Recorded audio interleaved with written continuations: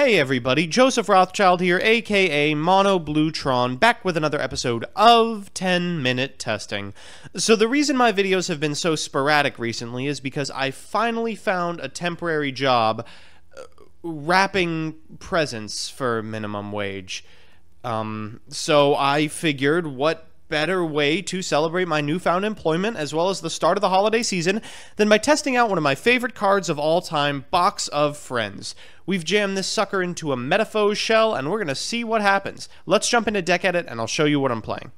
So this is the list we settled on. Now, right off the bat, you can see there's some stuff in here that'll land you straight on the naughty list. So I'll give you sort of an overview of what I want the deck to do, followed by a card-by-card -card breakdown. First, let's talk about Metalfoes. Now, as I'm sure you know, Metalfoes is an archetype of normal pendulum monsters that have no effect in the monster card zone, but you pop them in your scales, and suddenly you can target one face-up card you control, destroy it, and then set a Metalfoes Speller Trap directly from your deck.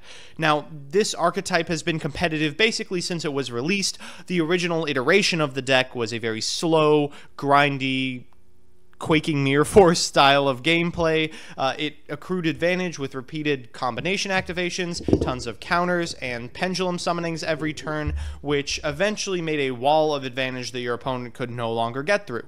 Now, as the meta sped up, it became clear that they needed a way to fight back, and the dominant form of this deck became Majespecter Metalfoes. This deck tries to accrue advantage by reusing Archfiend Eccentric, but also has space for things like Majespecter Bunbuku, and most importantly, Majespecter Kirin so it can blow out and kill your opponent.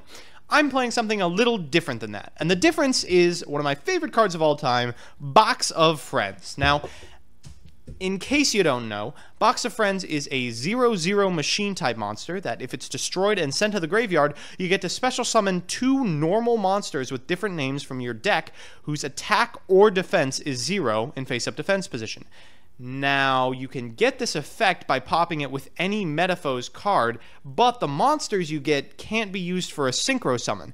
However, they can be used to special summon a Synchro monster if you are a couple steps ahead of me right here.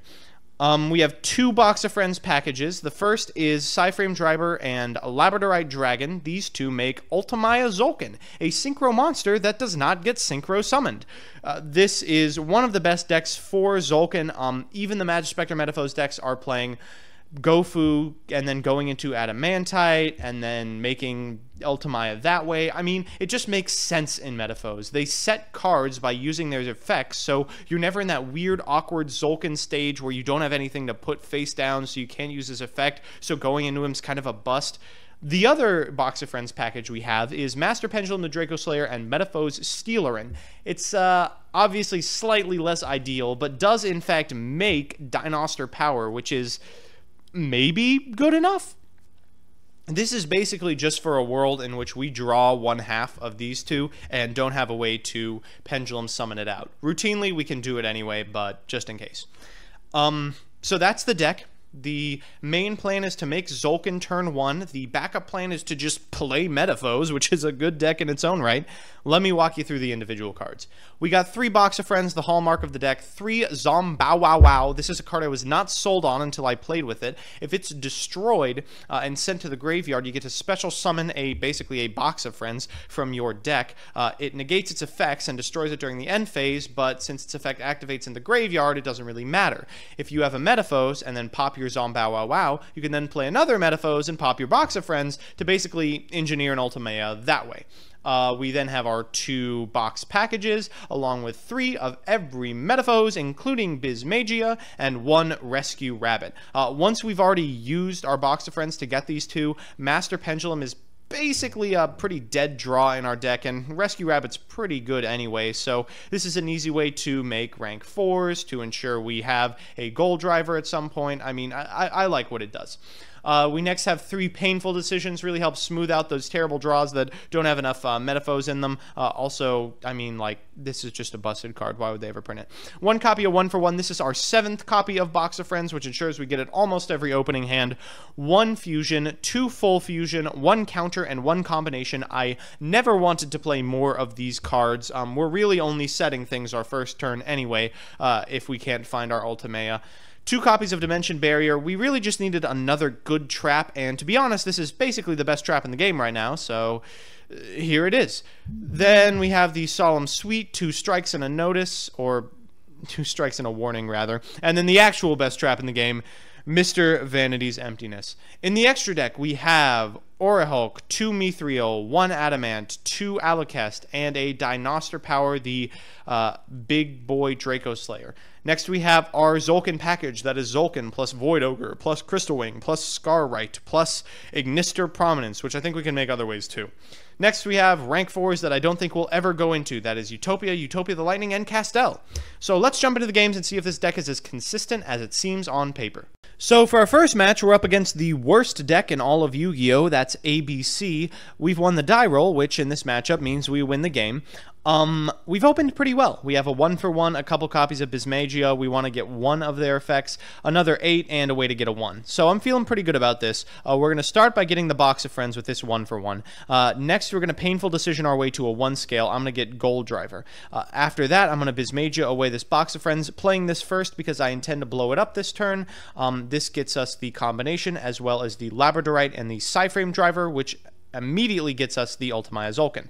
Now we're going to play Volflame, use Volflame's effect to destroy Bismugear, and then set a counter, which triggers Tzolkin's effect, and allows us to get the one, the only, Crystal Wing Synchro Dragon. After that, we have Goldriver and Volflame. I'm going to blow up Volflame for a fusion, and then during my end step, I'm going to use Bismugear's effect to get the other Volflame. So we got ones, we got eights, we got ways to get both of them again. I feel pretty good about this game. He draws Maxx C, uh, the card you always want to see as your sixth card. Uh, he's going to just set two and pass, got a Solemn Warning here, which is going to kind of screw up my plays, but not too badly. We're going to start with a combination. We'll blow that up to get full Metalfoes Fusion. Uh, afterwards, since we set a card, Tzolkin is going to special summon a monster. He Maxx Cs, and I go, oh god, I wish you'd had that last turn. We're going to get Void Ogre Dragon, then we're going to special summon a billion cards, and he decides he has had enough. So it's pretty hard to open poorly with this deck just because it's so consistent. Uh, however, it is very easy to get disrupted. This game we're playing against 52 card Burning Abyss. It's also got some PK stuff in there. It's got some Shaddoll stuff in there. I mean, just one of those we're playing everything that you could ever play in Burning Abyss, as well as maybe some Pots of Desires. Uh, we've opened pretty well. We have two eights, a way to get a one, and this hand represents a Tzolkin, although we have to go about it in kind of a wonky sort of way. So he gets to go first. He's going to play Tour Guide, uh, use Tour Guide to get Scarm, and then immediately make Dante pick himself and hit three. Now, uh, real quick question to all of you who play Burning Abyss. Is it a good idea, your first turn, to use your Barbar effect to banish the Scarm that you're about to get a draw off of? I'm pretty sure it's not but that 300 points of damage was probably worth it. What do I know? He's got a Twin Twister and a Fog Blade set. Uh, Twin Twister, basically the best card in the world against me. I'm going to go ahead and set Scales because I want to Pendulum Summon first before I go destroying things. And here comes the Twin Twister. And all right, I mean, I don't feel terrible about this. I mean, I still have a way to pendulum summon. So we're going to go ahead and get an 8, uh, set these cards, and that's going to allow us to pendulum summon. However, he uses Beatrice, and I think, well, none of the Burning Abyss guys actually destroy spell or traps, so I don't know what she's going to really... Oh, there's Shaddoll Dragon. So suddenly one of my spells and traps is going to get destroyed. Um, I'm not feeling great now. Still going to use Steelen to uh, activate Box of Friends' effect. He's going to Fog Blade. That's a-okay with me. Um, I'm going to set this combination. That's actually the more important thing here, not getting the box effect off, especially because the box is not actually going to do anything because uh, of the way our draws worked out. So we have nothing on our board in a combination set. He's Burning Abyss. However, he's almost out of resources. He has a Dante attached, which is a little bit scary, except there's not a lot in his graveyard he can use. He draws a Scarm, which he immediately special summons so it can be destroyed by its own effect. Really, guys, re if you're playing BA, the first and only thing you got to do is read your cards. So he's going to start with Dante, get Scarm back. You should all be effect to draw a card. Draws a Phantom Knights of Fogblade. Going to go ahead and summon that uh, of Silent Boots and then beat me over for 2700. Uh, really not the optimal turn for BAPK, but hey, what am I trying to say? Uh, we draw a Goldriver, which is great, but you need to understand that we didn't actually have to draw it because we have a combination set, which we could just blow up and get a Goldriver. Uh, we special summon about a billion cards from our extra deck, as well as a Labradorite Dragon, which allows us to, after we pop this uh, one, the only combination, uh, go into some uh, busted ass dudes. We're going to get Ignister Prominence and then use his effect in order to send Beatrice back to the deck, one of our only ways of dealing with that problematic card. Uh, next, we are going to use Bismugear's effect in order to destroy Goldriver, and he decides he does not want to sit through a Metalfoes game. So in that last game, we drew well, but were disrupted every step of the way. This game, we've actually just bricked, and I had to play a lot of games in order to find one where I couldn't make Box of Friends, so you all better appreciate it.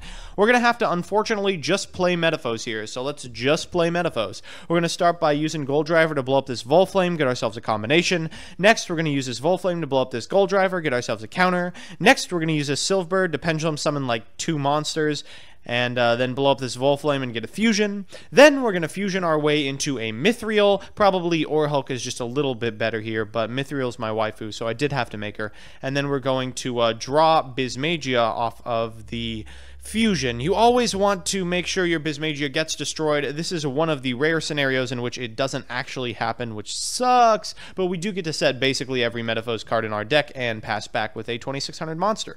He's going to use Red Eye's Insight, and I go, oh god, am I really going to lose to Red Eyes? I don't have a way to destroy it because Solemn Strike only works if he activates the effect. I've set four, so maybe he'll play around it, but he's going to go ahead and draw a bunch of cards, then uh, hit me up. So once he activates the effect, I'm going to go ahead and Solemn Notice it. Uh, that destroys the Black Dragon Archfiend man, which is good for me.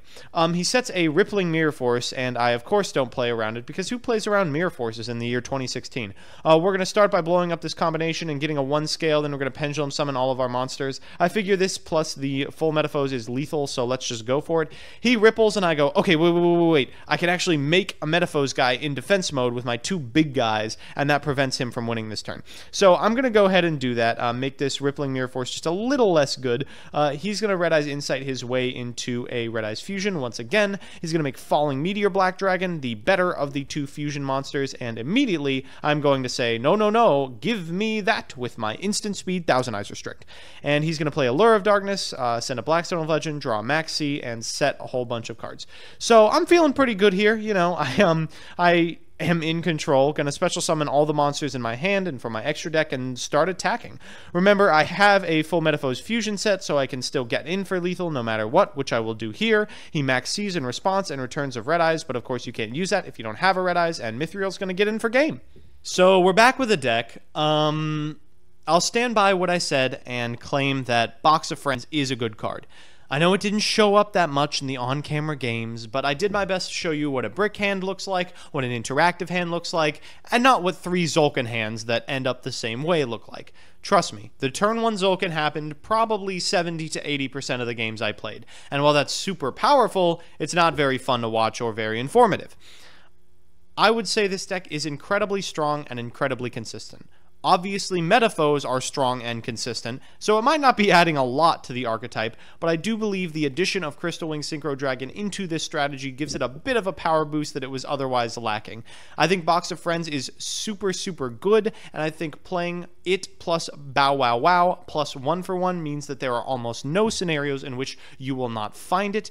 The availability of cards like Painful Choice mean that it is unlikely that you are not going to be able to pop Box of Friends or get Tzolkin turn 1, and even the cards that should be bricks, things like drawing Labradorite, drawing Psyframe Driver, aren't that bad. You're still able to pendulum summon them, which means there are ways in which you can go into Tzolkin no matter what.